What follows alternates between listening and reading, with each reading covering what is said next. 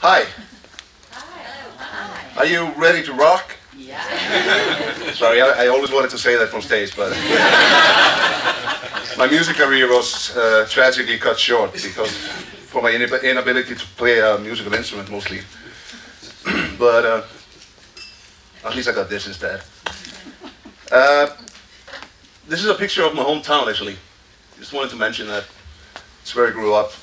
Population 800 people. Uh, this is usually the first thing I mention when I'm uh, doing this, these talks. This is my way of telling you that I, I don't come from a marketing background. And uh, I don't consider what I'm doing usually to be marketing in that sense. Uh, most of the time I'm just trying to be funny, which doesn't always work, but sometimes. So uh, I'm just briefly going to mention this uh, thing called uh, Iceland Wants to Be Your Friend. And it's just because so many people were asking me about it yesterday. This is not what I'm going to talk about here today, but uh, I thought I'd mention it since so many people were interested. but uh, I am the person who writes for Iceland. Um, Iceland Wants to Be Your Friend. So now you can go home and tell all your friends that you met Iceland. Not so many people that can do that. Um, yeah, just to show you a little bit about what it's about. So, but uh, the topic of the day still Iceland, apparently. uh, today's topic is uh, inspired by Iceland. And uh, we should roll a video now, I think.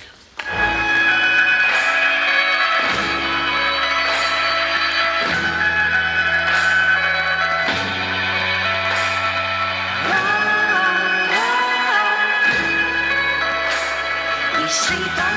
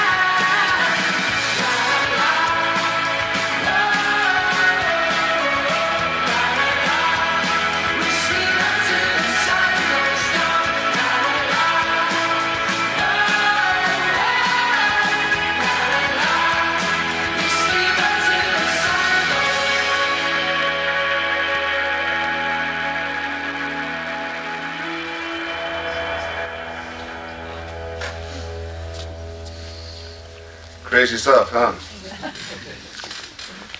Uh, I'm gonna tell you a story, and the story really begins in 2007. Back in 2007, uh, the marketing for Iceland was very scattered, and uh, not very focused. Let's just say that. We had two different organizations doing the marketing. We had, uh, you know, many different campaigns, and it was, yeah, it was just all over the place, so to speak. Then in uh, 2008, this happened. I know this photo looks like a festival, festival photo, but this is actually a riot in Reykjavik. This is following the uh, collapse, the economic collapse that Iceland went through in 2008. And uh, this is a photo of people rioting. And they kept on doing that until they overthrew, overthrew the government, or, you know, the gov- government resigned. Which made for some press. This is, we were talking about this uh, last night, this uh, old press, good press, or... Uh, this was at least generated some press. This one generated even more press. This happened in 2010. Uh, this volcano by the name of Eyjafjallajökull. Anybody wanna, anyone wanna try to say that with me? Eyja, Fjalla, Jökull. Ah, it's pretty easy for the Finns. so anyway, uh, Eyjafjallajökull erupted. That's a tongue twister, I'll and in doing so, it grounded flights around Europe. And uh, as most of you know, or some of you may know or have even experienced at the time, uh, I think it was close to 10 days that European airspace was more or less closed because of this. And that generated a lot of press for Iceland. And most of it was not very good press. Uh, at the time we had uh, tourism was a growing growing industry, slowly growing, but uh, and we were looking forward to our best year in Icelandic tourism in 2010. Uh, the, er- the eruption comes and we immediately did some research and uh, polls and all the scientific stuff that philosophers don't usually understand. And the projections came back, we were looking at 20% de- decrease in tourism.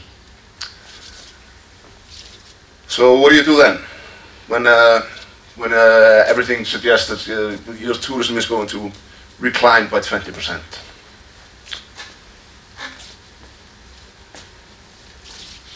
We uh, obviously created the biggest marketing campaign ever in Iceland. Uh, a bunch of companies and uh, stakeholders in tourism, along with the Icelandic government, the city of Reykjavik, and uh, the leading tourism companies, came together and said we have to do something, and we have to do it now. And magically, everybody could work together all of a sudden. So in nine days, we created a campaign. And uh, this is some of the insights that we were, we were looking at at the time. I'm going to draw your attention to the last two points there. And this was also a key, key insight for us. This is from our research, our own research. It suggested that 80% of people who come to Iceland would recommend a trip to Iceland to a friend. So we knew that people wanted to talk about Iceland. They wanted to tell the story. They wanted to share the Icelandic experience. So all we really had to do was create a platform, a platform for them to talk or share. This is what we did in uh, nine days, along with some other stuff that we did as well.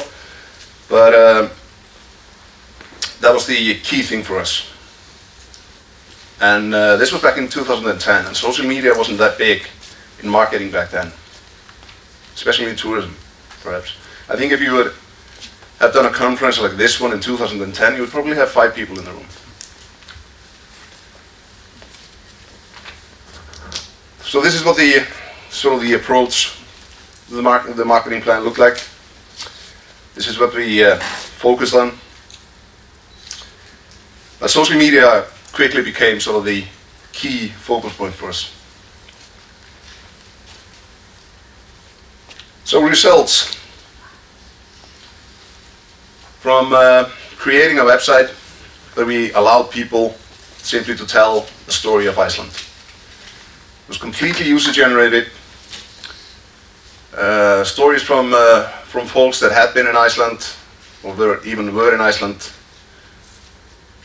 And we had a 27% increase over projections, which means that we almost kept kept it level between years rather than a 20% decline, which was fairly positive, I think, considering. Uh, but after this, after the, uh, the after the magic happened, where everybody could all of a sudden work together and create a combined, in a combined effort, everybody wanted to keep going. So uh, it was decided to extend the campaign by three years at first. So after having sa- saved summer of 2010, uh, we decided to, well, save the save the rest of the year and then for years to come.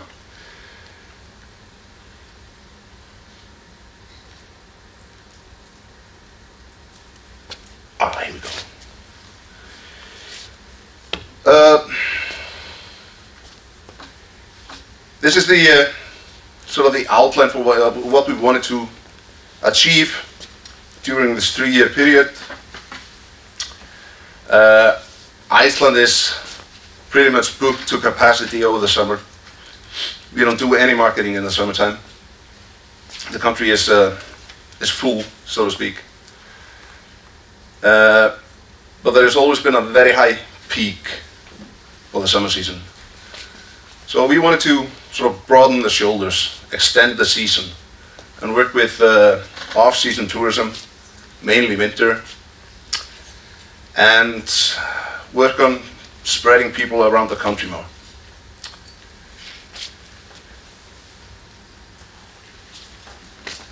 So this is what the marketing plan looked like. Compare that to 2010. But the key here is integration.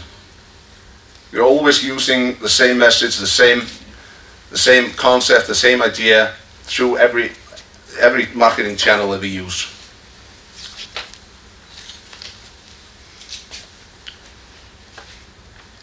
This is what we define as of the stakeholders and the storytellers, the people that work with us.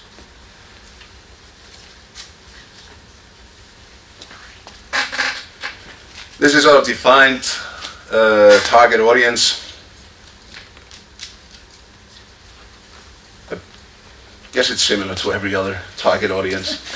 but if you read that, it's like, oh, this is, just, this is exactly like mine. Uh, that's what I thought when I saw Finland earlier. I was like, oh yeah, they're targeting the same group as we are.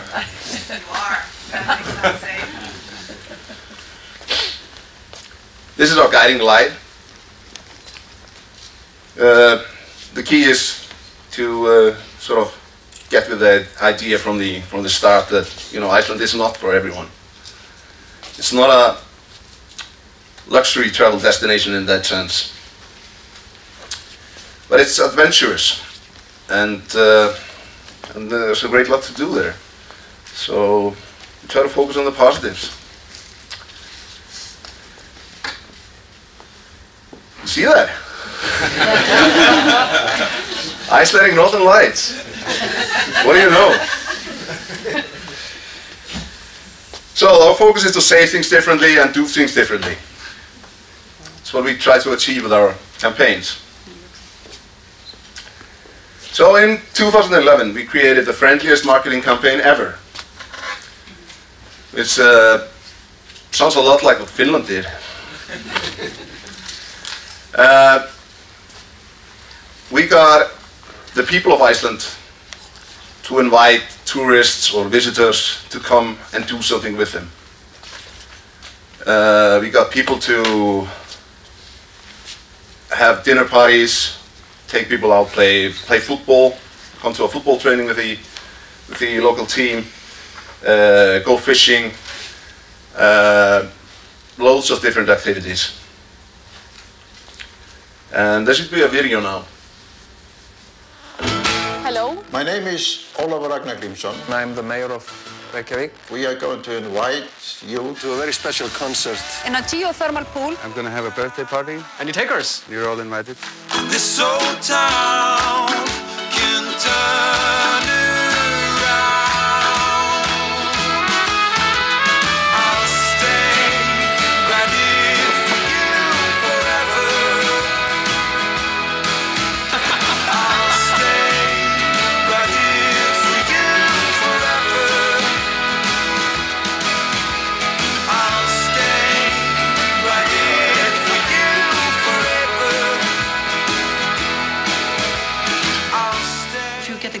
what's inside. I like it.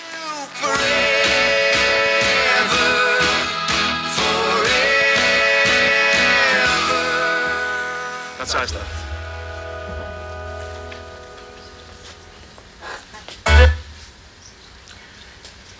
Uh, we used this to create a film, 11 minute long documentary that went on to win several several awards at film festivals and whatnot.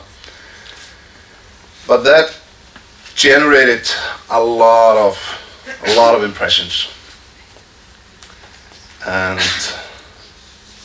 the whole campaign during the uh, five months that we were doing it created about 687 million impressions. This is good considering the budget.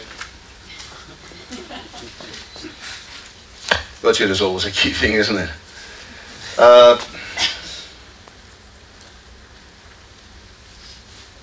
uh, impressions, all this engagement, all that stuff that we're measuring, it doesn't really tell us much, but this does. 600 672,000 tourists in 2012, which was a 20% increase over previous year. And you remember that the year before that we had 20% increase over projections. So 2012.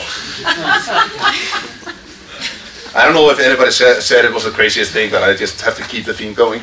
So I'll blame my uncle for that.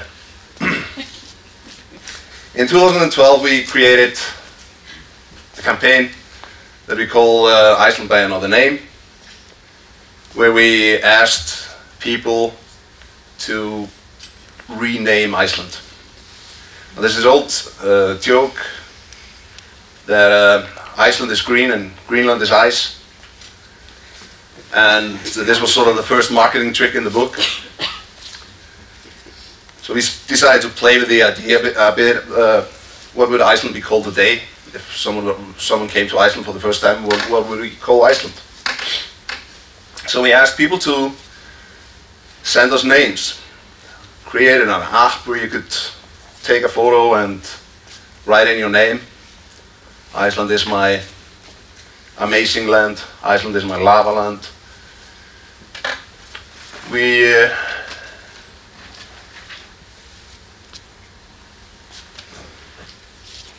created 20 or created 1.8 billion impressions with that campaign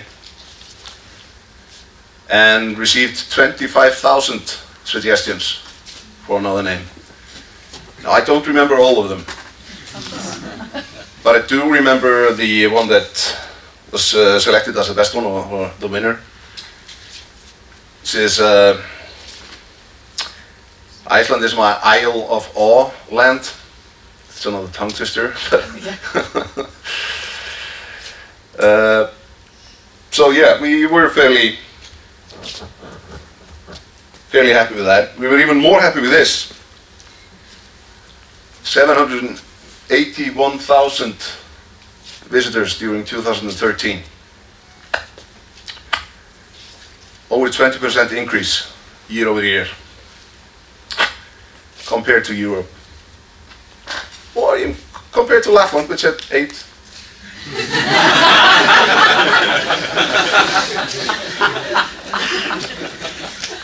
Since we're doing the old Nordic So yeah, uh, 32% increase in tourism during winter. This is uh, the 20% figure was for the whole year. This was just for the winter period. Uh, so we like to say we we have been reaching the goals that we set out to reach in the beginning, increasing winter tourism. Uh, tourism is now, this winter or this year, for the first time, the biggest export industry in Iceland. It's always been fish, and aluminium has been a been big as well. But uh, tourism is now the biggest industry in generating uh, export revenues. And I, if I remember correctly, um, don't quote me on this, but I think it also creates the most jobs. So it's been very important for us for the recovery of the of the country since 2008. Uh,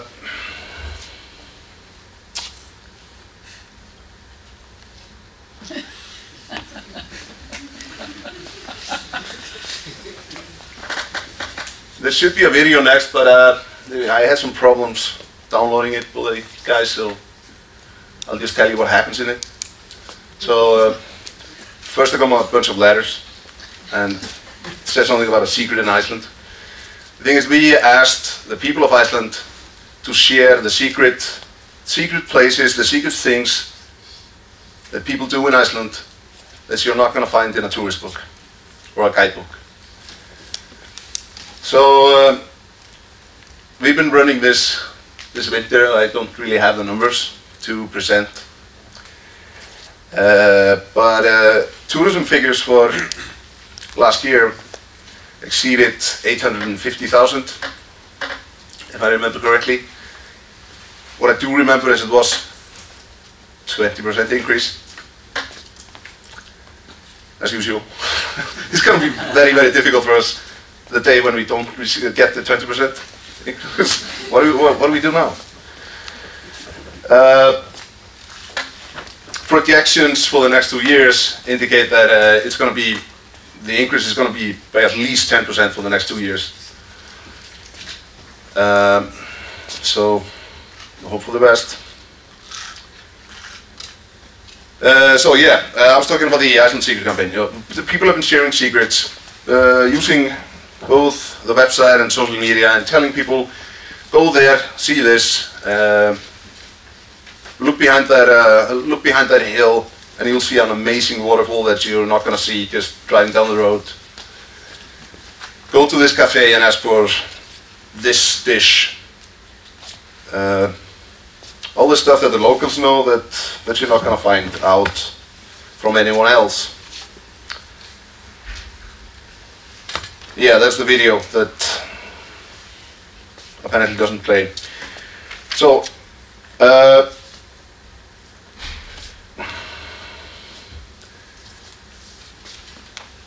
this is uh, tourism numbers from 1980 to 2013. And you can see the spike from 500 and 2,000 there. And that's when we started the Inspired Iceland campaign. Obviously, we, we're not gonna claim all the success for this. Uh, we all know, everyone in here knows the difficulties in, in sort of measuring the effects of a campaign like this. It's very, very difficult to sort of trace the origin of sale. But it correlates so nicely, nicely doesn't it?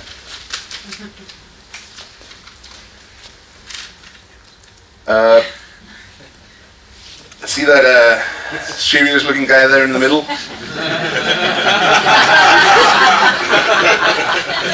Uh, he's doing social media.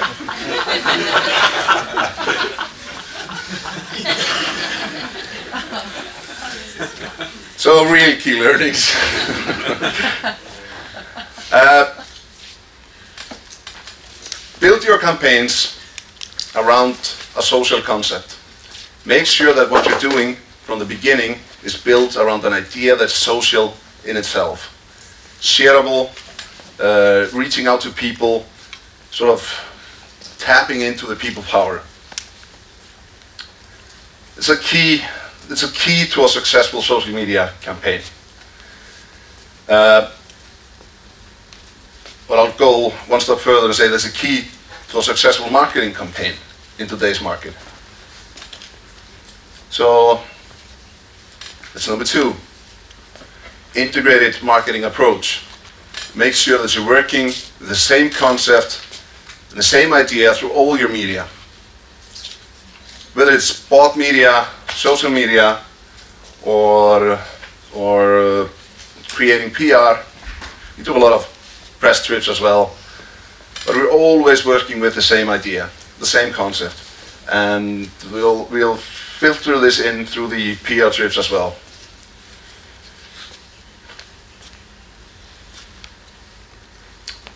And this is the most important thing. Uh, I don't remember who said this yesterday. Uh, I just saw it on the tweet board. Someone said, uh, "Community is the new king, not content." You couldn't be more wrong.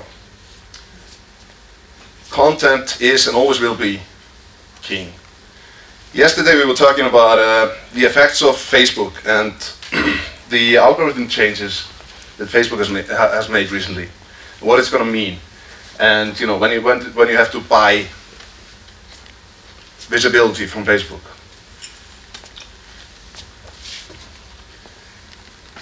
Sorry.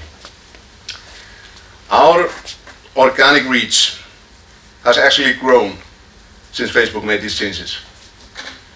We're seeing better results afterwards from organic reach than it did before. The key here obviously is the content. If you see your organic reach drop, it's because you're doing marketing, not social media. People, uh, Tommy said, said this best, I think, yesterday. Uh, if you're putting advertisements on uh, social media, it stops being cool. If you're not, if your organic reach is dropping, it's because you're not creating content that people want to want to interact with. Uh, how many of you use CPC or or PPC campaigns? Okay, some do. This is a I know this is a social media conference, but CPC is a, is a big, big part of digital marketing as well. Um, cost per clicks, ad spot from uh, Google mostly, related to certain search phrases. None of you use this. A few more, yeah. Google Ads. Yeah. Well, don't. Especially if you're a national or a local DMO. And I've been telling this to companies at home as well. And we changed our PPC strategy completely two years ago. We were focusing on uh, key search terms, travel to Iceland, nor- Northern Lights in Iceland, uh, accommodation in Iceland, and uh, we would try to latch onto these search phrases and get our visibility through there. And I said, well, let's, let's stop this. There are companies out there that we are work, working for that are latching onto the same search phrases uh, and spending good money buying them and we're against them. We're driving up the price for everyone and we're not even selling this product. The companies out there are selling the product. We're just creating awareness and getting people to talk about Iceland. So we should not be using CPC in this way. Uh, I think that's the end for me. It was uh, cut a bit short by the lack of video, but uh, so maybe some of you have questions now. Yeah.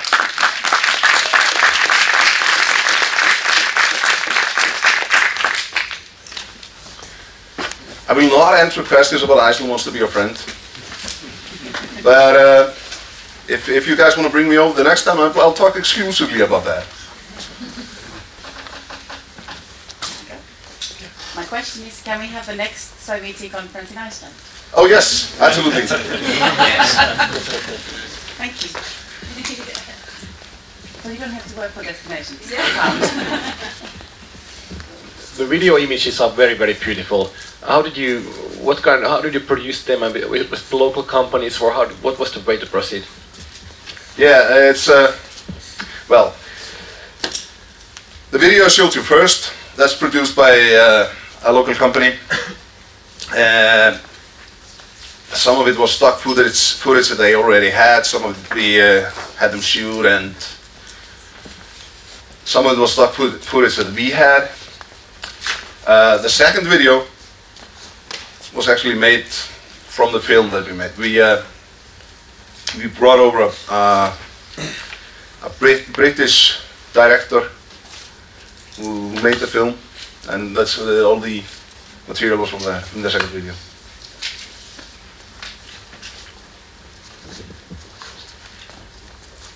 Any questions? Frank, would you care to comment on content or community is king?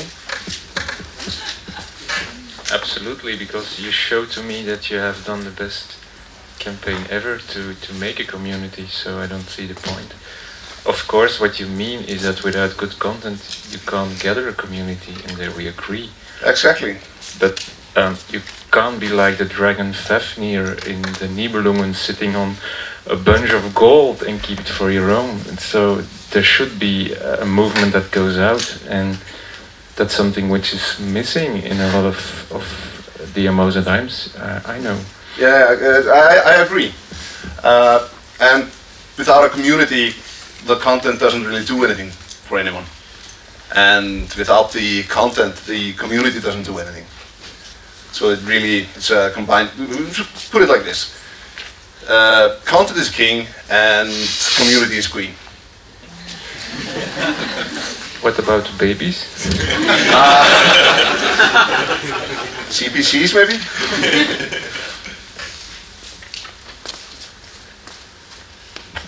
Thank you.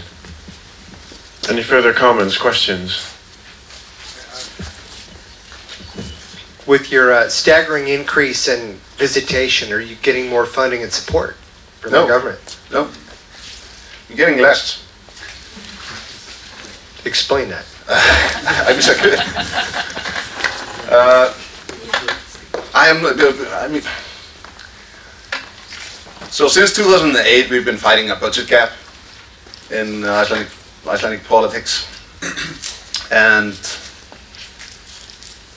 everybody's facing cutbacks.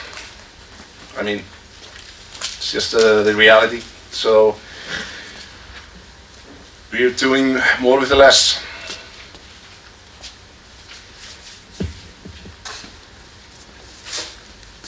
Maybe a question to the audience talking about CPC. Is anyone doing something with Google Grants? Does, that, does anybody know what Google Grants is? Then you kind of should, because um, because obviously Google's idea is to get the best or relevant content out, and therefore Google actually um, gives non-profit organizations about 10,000 euros a month in Google AdWords to spend on Google.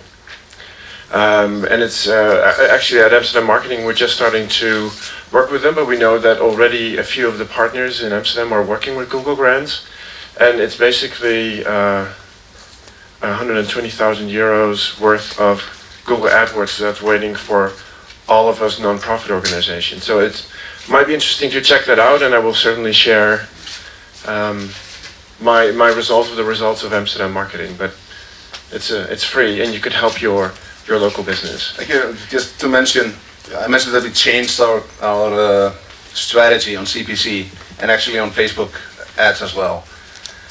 Uh, we completely stopped uh, tracking people or trying to reach out to people that uh, already have an interest in Iceland.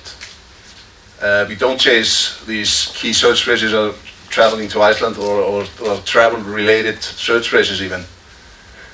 Uh, but we are trying, we, are, we use CPC in a different way now. We try to reach out to people with certain interests who may have nothing to do with Iceland. So we focus on uh, uh, topics like music, design, environment, and try to tell that people the story of Iceland rather than telling the people who already know about Iceland about Iceland. The people who know about Iceland and- are interested in coming to Iceland go to the internet and look, and they should find a company that's selling them a product or selling them a trip to Iceland. This is not really be finding us. As uh, I mean, I mean, it's always nice to be noticed, all that, but our our uh, our goal is to get the company's business. Maybe another question for you that I, I'm interested in. Um, as an island, you're very dependent on airlines flying to you. Do you work closely with, with airlines as an organization? Yes. Uh, we worked very closely with, uh, especially Icelandair, which is one of the founding founding partners in the Inspired by Iceland campaign. Uh, and we worked closely with them in uh, both all the throughout the campaigns and also in, in uh, road shows and workshops that they do around Europe mostly and the US. So yeah, there's a there's a close cooperation, and I bet uh, for the most Nordic most of the Nordic countries it probably is. I, I would bet that uh, there's a close cooperation between Finland and Finnair. Am I right?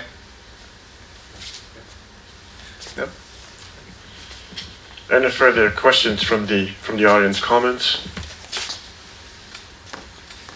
Yeah. Great. Thank you, Sven, for this great presentation.